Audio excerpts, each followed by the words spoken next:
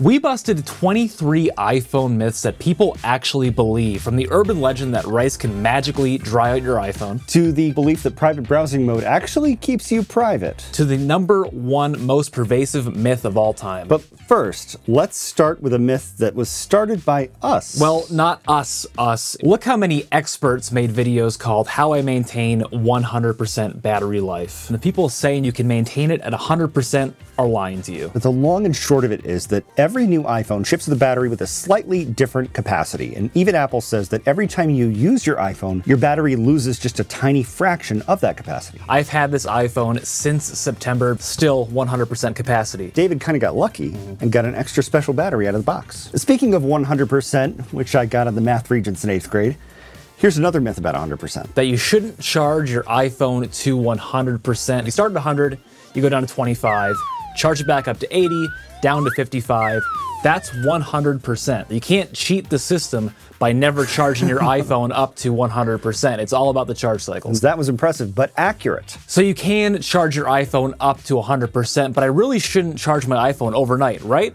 Wrong. A lot of these myths are based on old battery technology, which was a lot different than Apple's very smart technology today. Even Apple says charge your Apple lithium ion battery whenever you want. Our next myth has to do with fast charging. You don't have to use Apple chargers, but there are limitations if you don't. Yes, on an iPhone 8 or newer, you can fast charge your iPhone up to 50% in as little as 30 minutes. But that doesn't mean any old fast charger will do. You need an Apple USB-C to lightning cable and you need a USB-C power adapter. So throw away your charger you bought five years ago on Amazon. Even if it says fast charger, it's not gonna work. But these aren't the only cables you need to be concerned about.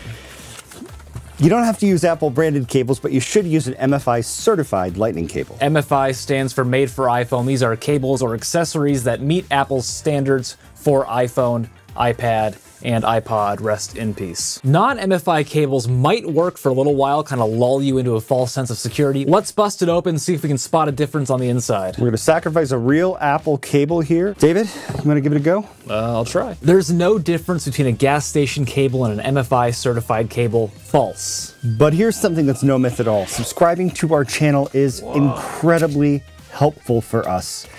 And we're almost to a million subs. So please, subscribe. A lot of people do subscribe to the myth that iPhones can't be customized. Sure, that sort of used to be true, and Apple has always been a bit behind Samsung on new features, but now you can customize Control Center. You can add widgets to the home screen of your iPhone, and with iOS 16, you can create custom lock screens, and there's so much more you can do to customize your iPhone. Apple didn't invent the App Store either. This myth was started by, well, Apple. The first iPhones didn't even have an app store. The first iPhone came with the native apps you're familiar with. And there wasn't even an app store until 2008. So no, Apple did not invent the App Store concept. Steve may have been wrong about the App Store. Now there are a lot of great apps. Here's something that's not a myth. Any cell phone can call 911 even when you don't have a cell phone plan. So it's not a bad idea to leave a phone in a drawer. But isn't it true that iPhones can't get viruses? No. There are all sorts of ways iPhones can get viruses, including Malware, phishing scams, software vulnerabilities like the one we saw with iOS 15.3. And it's not like they don't care. Apple has a security bounty program. So if you at home discover a way to access someone's iCloud data, Apple will pay you $100,000. Good deal. It's a great deal. So get hacking. We're not going to demo this how your iPhone gets hacked myth. Sorry. Speaking of sorries, do you remember when Apple apologized for listening to Siri conversations? ties into our next myth that your iPhone is listening to you all the time. Not true. It's, you know, not helped by the fact that big tech has become really, really good at targeting people with advertisements. So you talk about something and boom, there's an ad. They're not listening to you all the time. Speaking of collecting information about you, you care about your privacy when you're browsing the internet, so when you use private browsing mode, you're safe, right? Nope. Private browsing mode doesn't hide your IP address or your location. It also doesn't protect your internet activity when you're on a public Wi Fi network. To demonstrate just how much information is available to websites even when you're in incognito mode, go to privacy.net slash analyzer, scroll down, and tap Start Test. There we go, IP address. So according to this, they know exactly where we are, and it can tell that David's using an iPhone. iOS updates often introduce new privacy features too, but a lot of people, after they update their iPhone, they complain about poor battery life. Is it true? Do iOS updates actually make your iPhone battery worse? No. After Apple released iOS 15.4, a ton of people said, This update is killing my battery. Here's what Apple had to say It's normal for your apps and features to need to adjust up to 48 hours after an update. Bullshit. iOS 15.4 is a perfect example of Apple just being totally wrong because they had to introduce another iOS update to fix a widespread battery problem. You know what else makes your iPhone battery die faster? Closing apps. Or does it? People say that you shouldn't close your apps because when you minimize them, they go into a low power dormant mode. And those same people also say that you shouldn't close your apps because it takes more power to open an app from scratch than from when it's minimized. That's also true, but the numbers don't really add up. The most important takeaway is that some apps just won't go into that dormant mode like they're supposed to. So closing apps is kind of like wearing the seatbelt in your car. You don't expect it to crash, but if it does, you'll be glad you are wearing it. Another iPhone battery myth that's that auto brightness drains battery life. But the truth is that auto brightness doesn't drain battery life, and Apple even had to step in and say turning off auto brightness may affect battery life and long term display performance. That being said, I don't use auto brightness. I like keeping my brightness nice and low a lot of the time. And I think if you're like a team low brightness guy like me, and it's just low all the time anyway, you'll probably save some battery life by not leaving auto brightness on. Yeah, if you're on team low brightness, I don't think you were probably on many winning sports teams as a kid. You know where else it's bright, David? The beach. Apple has this cute little iPhone comfort zone graphic on their website that shows the iPhone's standard operating temperature to be between 32 and 95 degrees. But when you go outside of that range, one extreme is much worse than the other. According to Apple, hot temperatures can permanently damage your iPhone. Cold temperatures, on the other hand, will not damage your iPhone battery. So that's why I like to keep my iPhone in the freezer. One thing a lot of people do at the beach is listen to music. So they went out and they foolishly bought a pair of the AirPods Max for $549 and they said, I'm going to listen to some lossless audio because it says lossless audio. It's lossless, right? No. There's literally no way for iPhones to play lossless audio over Bluetooth. Just to be clear, when we say lossless audio, we're talking about CD quality. There are only three ways to listen to lossless audio on your iPhone. Number one, through the iPhone's speakers. using the $9 dongle or using an external DAC, which can cost a lot of money. You probably don't want to bring that to the beach though. Yeah, you don't want to bring that to the beach. So iPhones can't play lossless audio over Bluetooth. Surely that means that Androids can't either, right? Wrong. And don't call me Shirley. iPhones can't play lossless audio, but it's not because Bluetooth can't do lossless audio. It's because Apple doesn't want to pay the licensing fees to Sony or Qualcomm for their vastly superior Bluetooth music technology. They're the first trillion dollar company. They won't shell out a few bucks to make your listening experience better. Well, it's not like we're paying that much for iPhones Yeah. or, or the AirPods Max that are on the wall back there. I mean, $600 headphones. There is a trade off for higher quality music, though, and it is connection quality. You may have noticed that if you're wearing your AirPods Max, you can go way far away from your iPhone and still have a good connection. Not so with Android phones. Your iPhone might not play CD quality music, but at least it's not scratchy. Speaking of scratchiness, the myth that iPhone screens can't get scratched? Oh, but they do get scratched. iPhone screens like glass have a hardness of about six on the Mohs scale. Anything less than that will not scratch them. That's most things that are in your pocket. Anything more than that will scratch them. And there are a lot of those things out there. Let's give it a test. So I got my brass key. It's about a three on the hardness scale. It's it's not doing anything. I'm telling you, Nothing. nothing. The glass is a six. That's a three. Let's try a five and a half. This is a Leatherman knife. It's very sharp. We just used it to cut open a cable. I'm pushing down hard for the record here.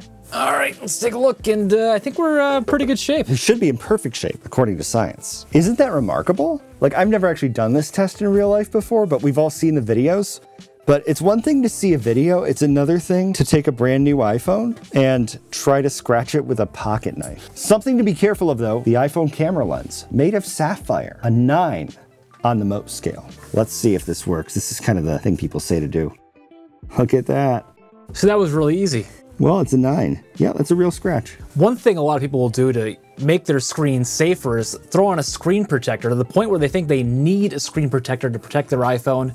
Is that true? No. So one thing to be aware of with screen protectors is a lot of them have the same hardness of the iPhone display, so they aren't really adding much to the equation. The thing about screen protectors like these we bought at Walmart yesterday is that they get crappy so fast. I've never really seen one that feels as good as the actual glass. So unless you're hanging out around volcanoes, which do have very hard rocks, I would say no screen protector is necessary. And one little insider secret about screen protectors. We met a guy in Las Vegas who sold wholesale screen protectors, and one of the places he sold them to was Walmart. And he said he was violating NDAs left and right to give us all this information. Long story short, Walmart pays about what, 20 cents for a screen protector? They then go and sell for $20. Don't waste your money on a screen protector. Another big misconception about the iPhone is that it's waterproof, but it's not. It's water resistance, and you really need to read the fine print here. Water resistance wears down over time, and liquid damage isn't covered by your warranty. Did you know that 4chan put out a fake Apple press release for iOS 7 saying it made your iPhone waterproof?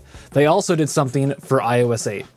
Wave. Wave can be used to quickly charge your device's battery using any standard household microwave. So obviously, you can't charge your iPhone using your microwave. What are you doing? I told you it doesn't work. Calm down.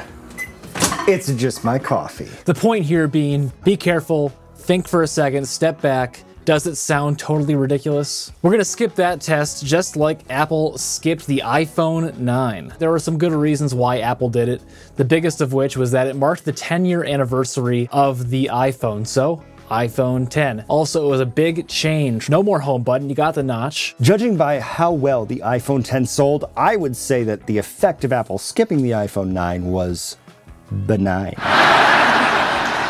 And now it's time for the number one iPhone myth.